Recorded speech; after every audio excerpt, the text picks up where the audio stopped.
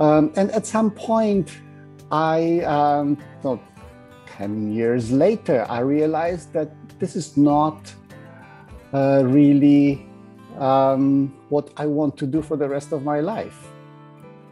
You sounded like a like a, a genuine person who um, who wants to help people. What stuck in mind um, were conversations, um, and I think that's uh, that's probably the best. What made the most difference? Mm-hmm. Um, the kind of talking through things. The change of, of, of mindset is is probably the best, uh, most lasting, most significant outcome. In the end, you know, I, at some point, and I hope that's with all your clients, at some point, uh, you know, light switches on.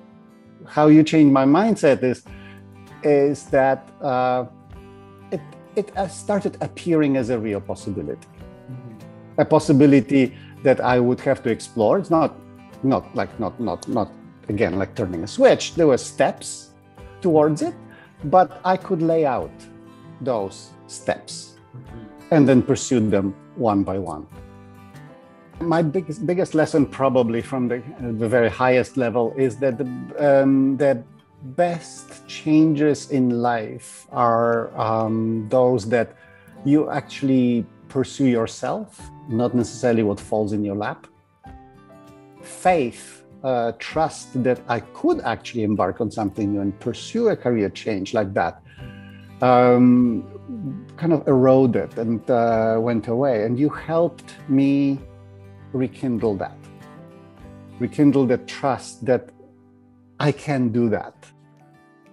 I still, you know, seven years later, um, feel quite excited. It, it's actually, you know, every weekend feels like I'm, I'm on a tropical holiday, really some things like almost magically materialize themselves